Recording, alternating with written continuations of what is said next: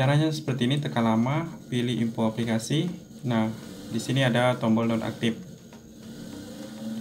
Kemudian kalau ingin cara lain, kalian bisa buka setelan, cari yang namanya aplikasi, pilih lihat semua aplikasi. Nah, yang ini kalian cari saja.